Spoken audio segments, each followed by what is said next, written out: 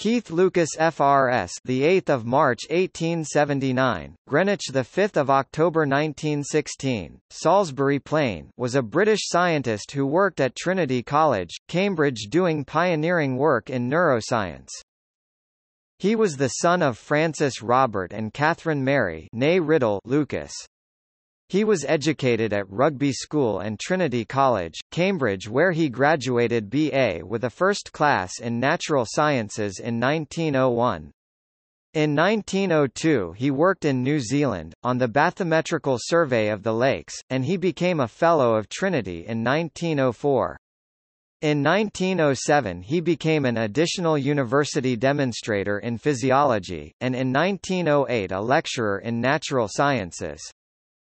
He delivered the Royal Society Croonian Lecture in 1912.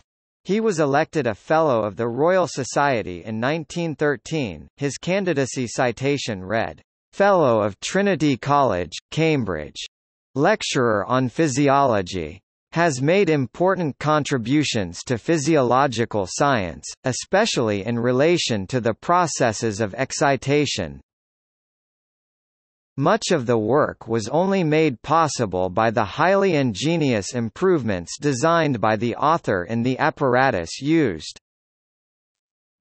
During the First World War, as a captain in the Hampshire Aircraft Park's Royal Flying Corps TA, based at the Royal Aircraft Establishment, Farnborough. He was engaged in experimental research work into aerial navigation and early aeroplane compasses, convinced that his experimental work in aviation would improve if he became a pilot, he attended a flying course at Upavon where he was instantly killed on 5 October 1916 when his aircraft B-2C 5389 collided in midair over Salisbury Plain with B-2C 4174, flown by 2LT Geoffrey Platteras Lawson Jacques of the Central Flying School, who was also killed.